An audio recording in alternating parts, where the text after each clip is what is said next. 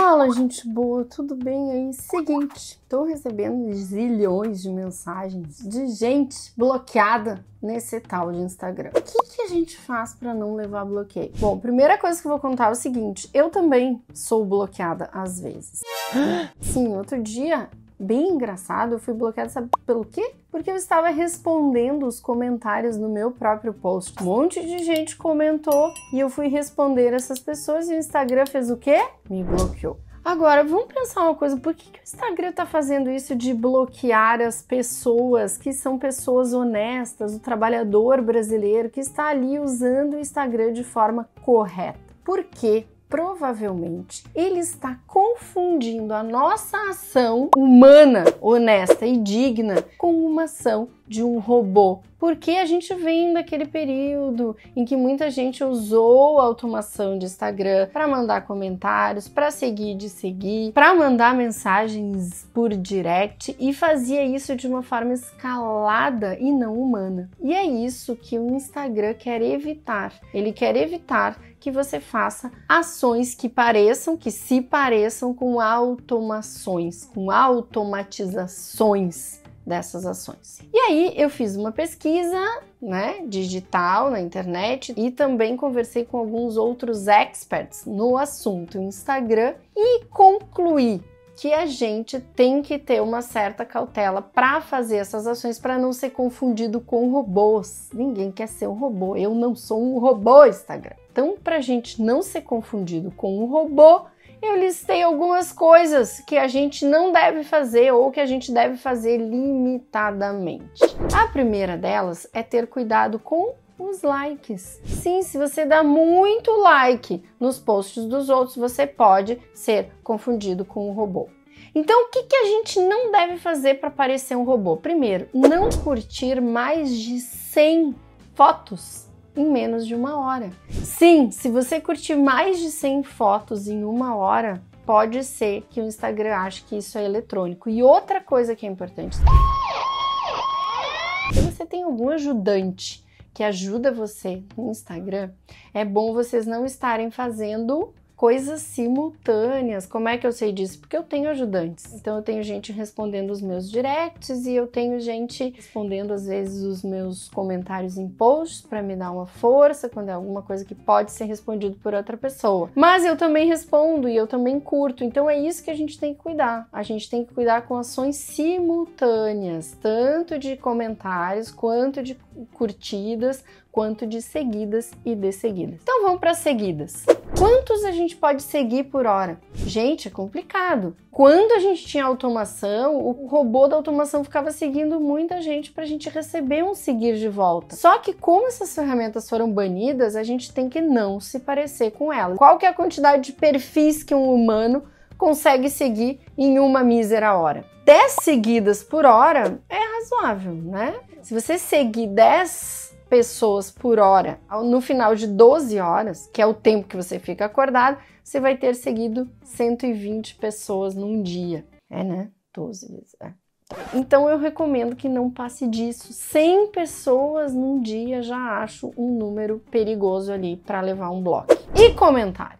Como eu falei, fui bloqueada por comentar no meu próprio post. Então a gente tem que ter um cuidado ainda maior com comentários. Primeiro, não copiar e colar ou seja, o mesmo comentário em vários lugares, porque pode ser que o Instagram esteja detectando esse tipo de ação. Agora, quantos comentários que seria humano a gente fazer por hora? Um comentário por minuto é um monte, né? Então, assim, 60 comentários por hora é gigantesco. Eu apostaria na metade disso. 30 comentários por hora no máximo, sem ultrapassar um número de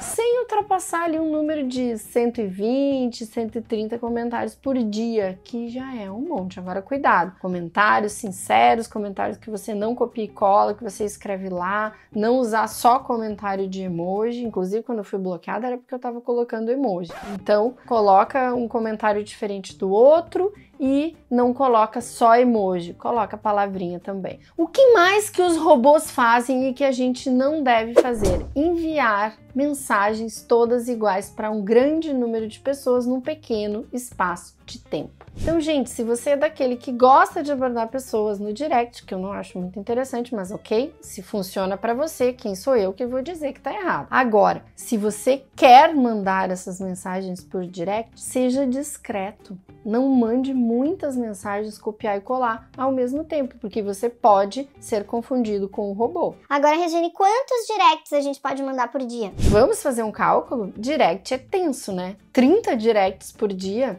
já é bastante. Então, se você ultrapassar isso, existe uma chance gigantesca do Instagram achar que você é um robô e dar uma bloqueadinha na sua conta. Outra coisa que eu vejo é o seguinte: gente colocando 60 hashtags, 30 no post e mais 30 nos comentários. Isso pode causar um bloqueio, principalmente se entre essas hashtags tiver hashtag proibida, as hashtags banidas do Instagram. Então informe-se. Eu acho que fica elegante até 10 hashtags por post. Inclusive, né, já fiz um vídeo, não sei se já foi pro ar ou se vai, vai ainda pro ar, de pesquisas que mostram que excessos de hashtag diminuem o alcance do post. Outra coisa que pode estar bloqueando aí a sua conta se você foi bloqueado é o excesso de denúncias. Sim, cara pálida, se você faz um post inconveniente, se você envia muito direct para as pessoas, se você é chato nas redes sociais, alguém pode denunciar o seu perfil. Esse bloqueio pode acontecer até se você resolver agredir alguém ou algumas pessoas em comentários, porque as pessoas denunciam pessoas inconvenientes, denunciam spams. E se você tiver um grande número de denúncias do seu perfil, você pode sim ser bloqueado temporariamente para que o Instagram faça a averiguação do seu comportamento nessa rede social. Então, para não ser bloqueado, seja chique, amigo. Além disso, as pessoas vão gostar mais de você. Outra coisa que pode causar um bloqueio é o seguinte: você usar música com direitos autorais nos seus posts ou nos seus stories com frequência. Inclusive, já falei isso num vídeo também sobre música no stories, que é achar que o vídeo pode achar, que até as músicas que o Instagram fornece você pode usar durante 15 segundos e não durante 30 segundos ou 45 segundos, ou seja, em mais de um stories, porque isso pode causar a redução do seu alcance pode causar a exclusão do seu post ou do seu story e pode também causar bloqueio da sua conta por um tempo que eu não sei. Teve gente que me relatou que foi bloqueado por 12 horas, outro por 24 horas, outro até por 30 dias. Então, cuidado, direitos autorais é uma coisa muito séria. E para finalizar, tem mais uma coisinha que muita gente não sabe que pode causar o bloqueio da conta no Instagram: links proibidos. Exatamente. Se você tiver ali na sua bio um Linktree com links proibidos, isso pode causar o bloqueio da sua conta, pode causar que você não possa usar o Linktree ou pode causar que o Instagram não carregue para dentro do Instagram o site que você quer mandar ao seu cliente. Ah, mas o que, que são sites proibidos? Sites proibidos são sites proibidos. Ótimo, né? Isso é ótimo. Sites proibidos são aqueles que têm alguma coisa que violam as políticas do Instagram. Já leu as políticas aí? Pois é, muito pouca gente lê, mas eu aconselho fortemente, se você está usando esse produto chamado Instagram, que você leia o manual de instruções, que também é chamado de políticas do Instagram e do Facebook. Então, sites como pornografia, sites com apelos de venda muito forte, com alguma coisa que pareça mentirosa, com alguma coisa que pareça não real, pode acarretar sim o bloqueio da sua conta. Então, preste atenção, fique ligado. Enviar esses sites por direct também pode causar aí problema. E o seguinte, se você já teve a sua conta bloqueada por qualquer motivo, me conta aqui nos comentários algum motivo desses que eu não falei. E se você conseguiu resolver o problema, também me conta aqui que mais gente pode querer saber do seu macete. Valeu, cara pálida? Não somos um robô, portanto, não vamos nos comportar como um robô no Instagram, porque isso pode ser aí um lindo tiro no nosso pé. Valeu? Então, se não está inscrito no canal, fica, te inscreve, que toda segunda e toda quinta euzinha tô aqui com novos assuntos sobre marketing digital, neuromarketing e marketing de conteúdo. Beijo!